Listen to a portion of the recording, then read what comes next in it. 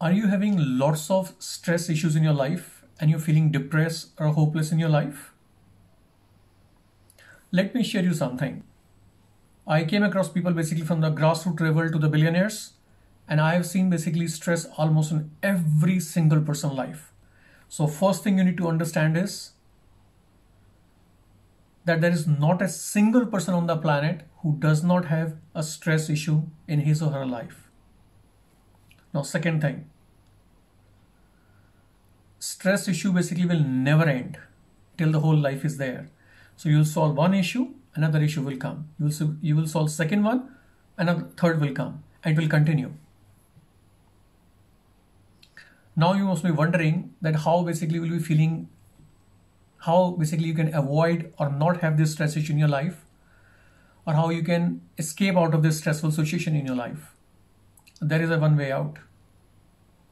And that one way is start doing meditation every single day. Yes. If you start doing meditation every single day you will notice that the impact of the stress issues in your life will start becoming less and less. I've given the links in the description.